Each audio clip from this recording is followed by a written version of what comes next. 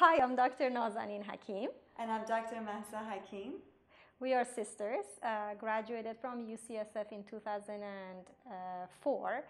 We have been practicing in the Bay Area as general dentists for over 17 years.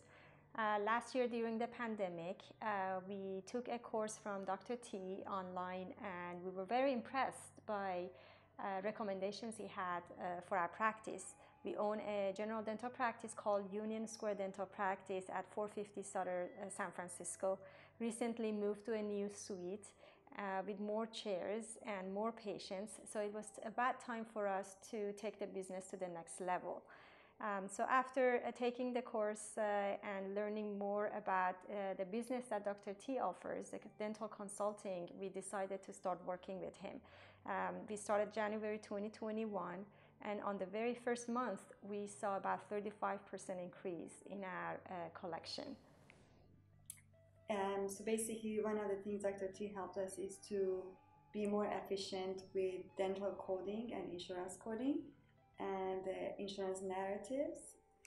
Um, he also helps us a lot with uh, managing the staff's uh, incentives. Uh, he helps us uh, to add more procedures uh, that we are comfortable with into our dental practice.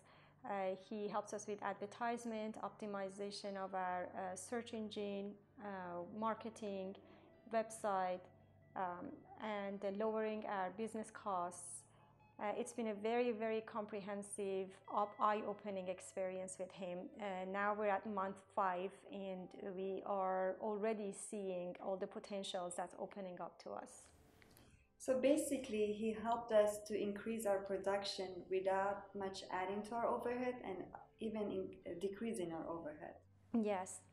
He introduced us to new labs, to new equipments, and uh, what I noticed about his approach is that he's very genuine. So he has a, a world of knowledge that he is just ready to uh, provide it to. You just need to be open and ask him questions, and he will help you along the way.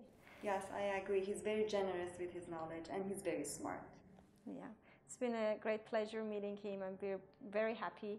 Uh, we're looking forward in the next few months and see what the end of the year of 2021 is going to look like compared to the end of 2020.